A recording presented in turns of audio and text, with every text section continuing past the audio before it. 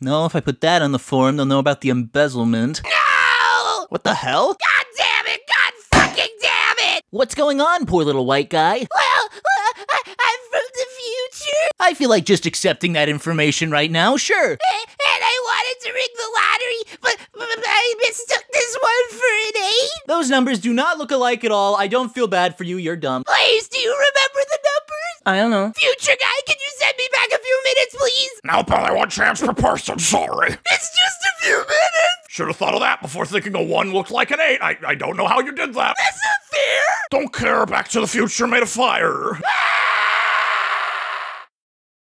Well, that just kind of happened. I, I don't know. I was even here.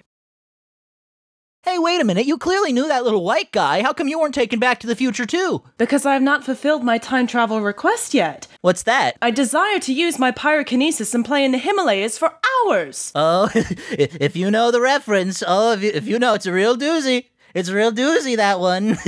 oh boy. Don't don't look that up, please. No, no, look up top 10 hottest Sonic girls. You, I must spread the suffering. You're a fucking asshole.